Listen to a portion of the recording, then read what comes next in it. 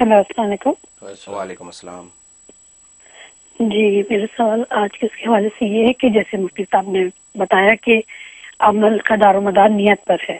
تو بعض دفعہ ہماری نیت جیسے مثالی طور پر کوئی رشتہ اگر ہم کرتے ہیں تو ہماری نیت اچھی ہوتی ہے کہ رشتے کو جوڑنا ہے یا لے کے چلنا ہے مگر امال جو ظاہر ہو رہے ہوتے ہیں یا حالات جو ہو رہے ہوتے ہیں وہ اس کے برعکس ہوتے ہیں۔ یعنی نیت اچھی ہوتی ہے جوڑنے کی لیکن ایسے حالات پیدا ہو جاتے ہیں کہ لگتا ہے کہ یہ غلط ہو رہا ہے۔ تو پھر اس کی کیا وجہ ہے؟ اب جزاک اللہ۔ اچھا جی بہت شکریہ کال کرنے کا۔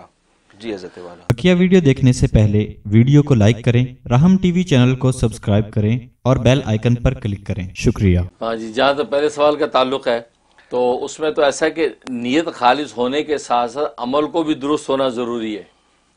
جیسے خالص پیٹرول جو ہے اگر آپ نے گاڑی میں ڈالا ہے گیس ڈالی ہے لیکن گاڑی چلنے کے قابل اس کے ٹائروں میں ہوا بھی ہونی چاہیے اس کے سٹیئرنگ بھی صحیح ہونا چاہیے۔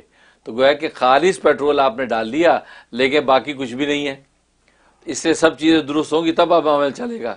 جیسے انسان جو ہے، وہ اگر بالکل اچھی خوراک کھائی اس نے اور میدا اس کا اندر قوت ساری ہے، لیکن ہاتھ پیر اس قابل نہیں کہ چلیں، تو چل نہیں پاتا۔ تو اس لیے عمل کو بھی درست ہونا ضروری ہے۔ تو انم العمال بن کا مطلب یہ کہ اعمال کا دار و مدار نیتوں پر ہے۔ تو نیتوں پر ہونے کا مطلب ہے کہ اس کی صحت اور قبولیت کا مدار نیت پر ہے۔ لیکن اس میں یہ نہیں کہا کہ عمل جیسا بھی ہو۔ اب جیسے آپ بتائیں نیت ہماری خالص ہوتی ہے کہ ایک یہ کریں، لیکن اعمال جو احوال ایسے ہوتے ہیں جو اس کے خلاف ہو رہے ہوتے ہیں۔ اس کا مطلب ہے آپ کو عمل کو بھی درست کرنا ضروری ہے۔ جب عمل درست ہوگا اور نیت و عمل جب دونوں ایک دوسرے سے میچ کریں گے، اب آگے گاڑی چلے گی۔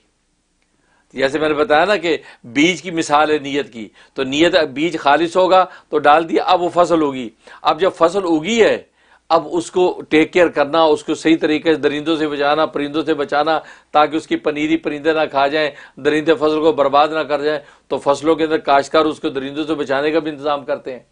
بالکل اسی طریقے سے عمل کو خراب کرنے والی اب کوئی چیز آنی نہیں چاہیے، تبھی وہ خالص نیت جو ہے، وہ آپ کے لیے بینیفٹ ہوگی، کیونکہ عمل صحیح ہو کر اللہ کے سامنے پیش ہوگا۔ یہ ضروری ہوتا ہے۔ تو اس کے مطابق جب عمل کریں گے تو انشاءاللہ خالص نیت کے ساتھ جو ہے آپ کا وہ عمل قبول ہو جائے گا۔ ماشاءاللہ، بہت شکریہ۔